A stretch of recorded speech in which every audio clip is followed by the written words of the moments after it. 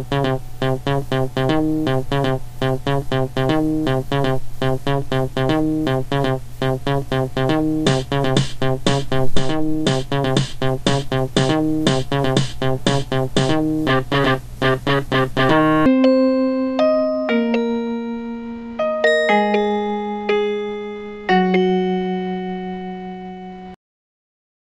日は蒲田まで呼び出されたけど、この商店街なんか昔のレトロな感じがして素敵じゃない？え、バーボンロードっていうのね。へえ、なんかロマンチックね。でも今日もファンク君、はははは、息が荒いわよ。ちょっと気づきなさいよ。もう胸元が見えないぴっちりとした T シャツに。ファンク君気づいてないでしょ？あのー、ダラダラの T シャツよりもぴっちりしてるとめくれることもないじゃない霧吹きでね、水分補給してるのよ。だからピタッとついてね、なかなかめくれることもできないし、今日ジーパンも3枚履いてきてるのよ。前回のスカートからジーパンしかも3枚履いてるってことにね、あなた気づきなさいよ。それがどうしてこうなっちゃったかっていうの。はは言い過ぎなのよ。怖いわ。あれ？今日は天ぷらなの？天吉。へえ。なんか店構えがレトロってて素敵じゃない。でも店内人いっぱいだし、あ、席詰めてくれるなんてお客さんもいい人ばっかりなのね。私、天丼食べて、え？もう頼んであるの？あ、すぐ。ファンコ君は穴子。量すごい多いわね。うん、下で。これ換気大事だよ。あ、すみません、マスターありがとうございます。換気大事だよ、穴を隠れちゃったでしょ？あいえいえ溶かれたの？か。も う今日、これちょちょっと穴が見えない。あまりにも森が良すぎた。美味しそうです、天丼。ね、美味しそう。美味しいけどね。おじちゃんチェック面白い。食べようとしたら、ちょっと待ってって、具をどかし出して、穴子いっぱい見せなきゃ。あ、はい。あの、ちょっといじっていいっていうか、あ、もうどうぞ。撮影 OK していただいたんで、あの、こちらの方はわがまま言ってますのでって、あの、ファンクちゃん言ってたけど、面白いおじちゃん。それ、天ぷら午前食べてたお客さんで、今日ちょっとお腹いっぱいだからこれ以上もう大丈夫って言ってた人のやつで、もうあげちゃったしそとかさ、かぼちゃとかもどんどん丼に勝手に乗せてくるっていうこのシステム。面白いわね。え、一口食べさせてくれるの？二口ぐらい男だったらどうぞって言ってみたらどうなのそういうとこはマイナスだぞ。うんあらま。さっきどっぷりとタレにつけてから丼にのせてなおかつタレもぶっかけてたでしょ？しかもこの甘じょっぱいこのタレたまらないわね。ああっていうかネタ めちゃくちゃ美味しいじゃない？穴子もあって野菜も。あちょっとここ食材にもこだわってるのね。このどっぷりとしたタレに使った穴子がまたプリプリで美味しいわ。あららら、あらら、これは、やられちゃうわね。どうしても私に食べさせたかったっていう、あの、このかき揚げ丼？なんか上がりすぎてて、この香ばしい香りはすごくいいわね。で野菜2品がついてくる玉ねぎとあとナスお姉ちゃんちょっとごめん。ナスもう一個乗せていい？って言うからあいやもういただけるならって。他のお客さんがねちょっと食べれないって言うからちょっとあげちゃったんだよ。つってうん。でもねどうぞって言う前にもう勝手に乗せられた。うんサービス良すぎじゃない？あと小エビ貝柱イカが入ったこのからこの何お好み焼きっぽいようなこの匂いって何なんだろうてかすごく気になるどこ見ても要所要所に刻んだイカが入ってるんだけどしかも量的にめちゃくちゃ入ってるわよもう隅から隅まであと中央とかにあタコとかの焼きの匂いに似てるこの感じあイカの匂いだったのね。えーともものすごくいっぱい入ってるわよこれ。えー、変わってるわね。あらま。焼けたイカってるわこれ。かき揚げ。あとこの甘じょっぱいタレにマッチしてこれはあ今までいろんなところでかき揚げ食べてきたけどここでしか味わえないこのイカの風味の強いかき揚げはこれはたまらないわね。ね美味しいでしょって。ファンク君今私を見てそういう顔したでしょ。まあ今日はその通りだわねって言ってあげるわ、でもね私のねガードはね高くて。しかも前回も母強いからセキュリティはねものすごく高くなってるのよ。あなた。いや食事中にさリカ先輩リカ先輩って言ってた中で一回リカって言ったでしょ。ちょっと生意気じゃない？今日で2回目よ。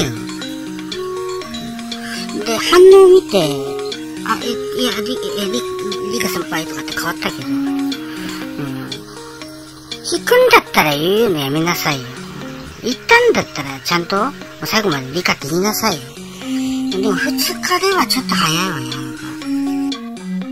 動画の方にお便りが来たのでこれからちょっとリカが答えちゃううん。ファンクさん動画では触れずともいろいろあったり思いがあったりすると思いますけど最近はどんな時間が一番好きだったり気が休まったり楽しかったりするんですか？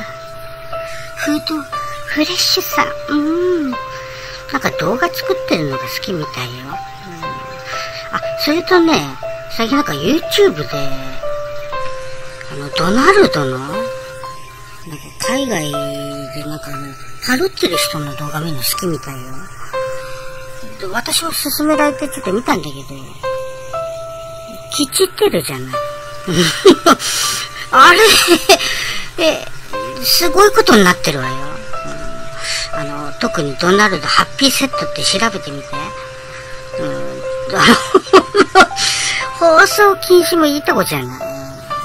てかびっくりしちゃった。会話したことがない近所の幼馴染から告白されました。なぜか今働いてる場所や近所の友達と遊びに行ってレストランの出来事を会話に挟んでて正直キモい怖い危ないと思ってます。いきなり付き合ってほしいと告白されましたが私に危害が及ばない断り方とかあったら助言ください。今は無職だけど投資の勉強をしているとしきりに熱弁してきておかしいことを言ってることに気づいてないです。それを私に話してどうするの？え？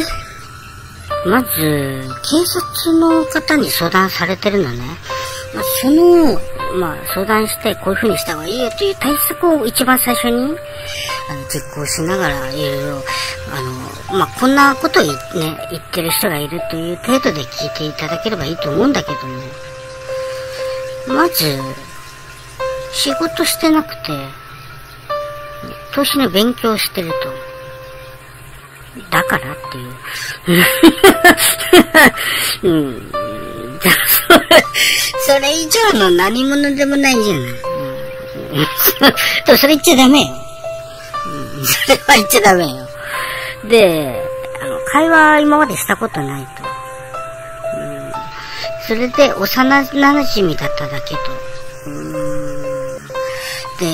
あなたの働いてるところとか、レストランで友達と一緒に食事かなんかしたのかな？それを知ってるのね。ビクってるでしょ？それ。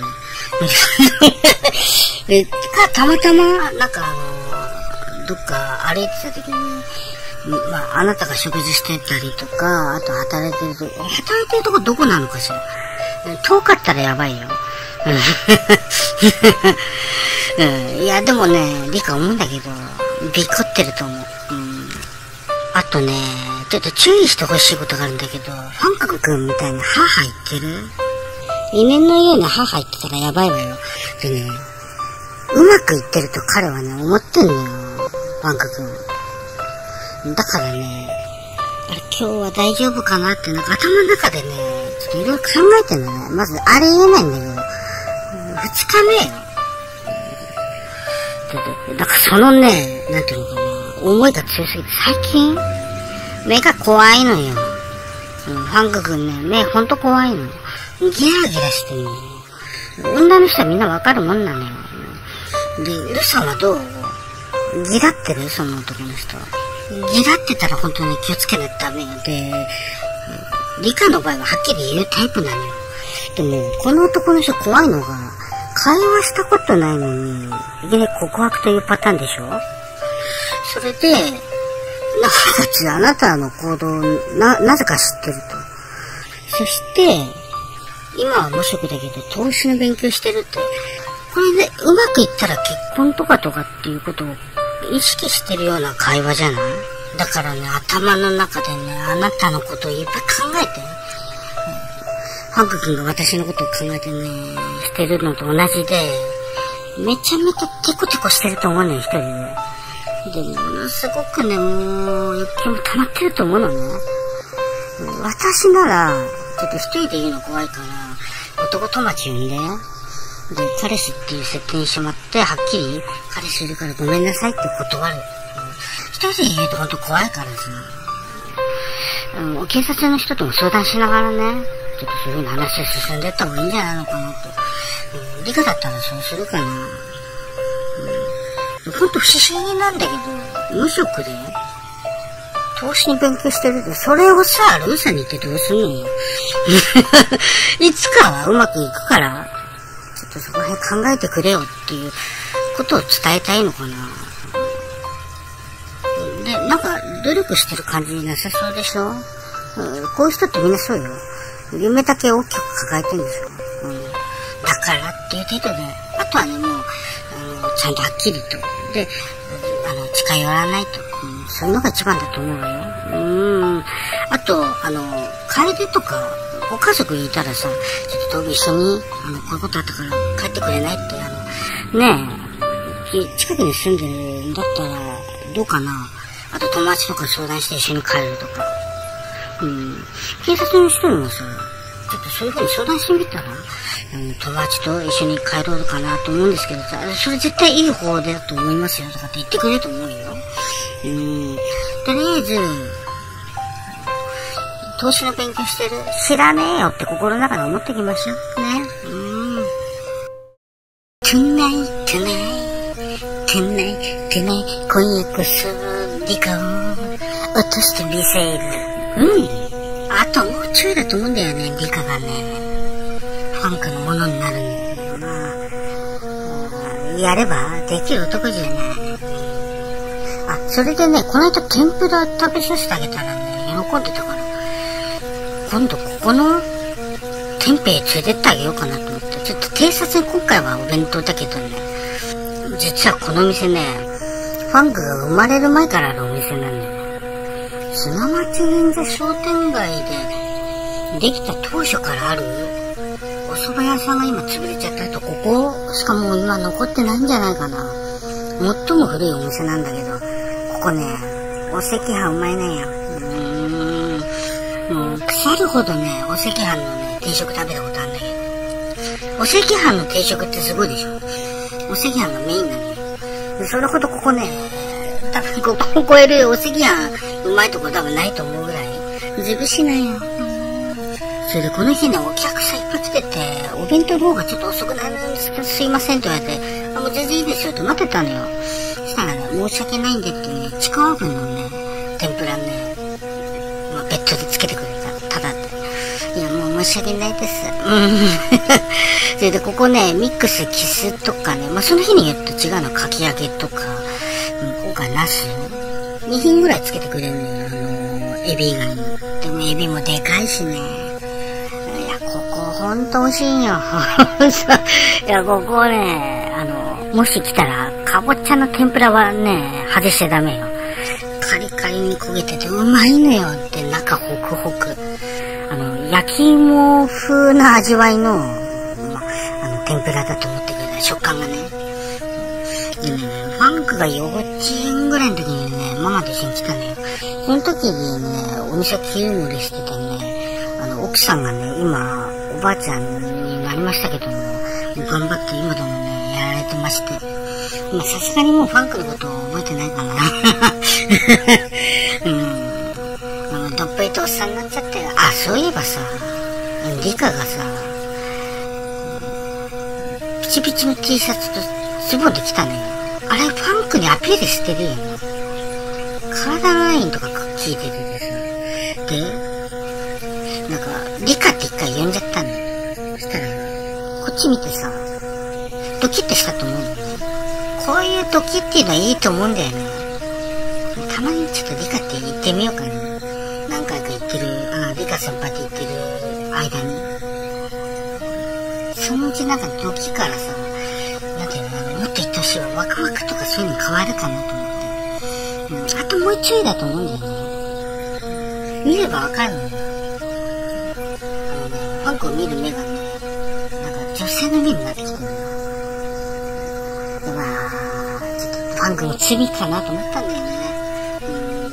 うん、まだ出てして2回でしょ。こんなに惚れさせちゃうなんてさ。なんかほんとね、罪な男だと思う。いや、ほんと理がたまらんわ。私をものにしたいなら、もっとズビビとくる相談をよこしてみなさいよ。男なら、それぐらいできなくてどうするの？そんなんじゃファンコは乾いたままよ。全然乾いたままなんだからね。東京シークラブでは皆様のご相談をお待ちしております。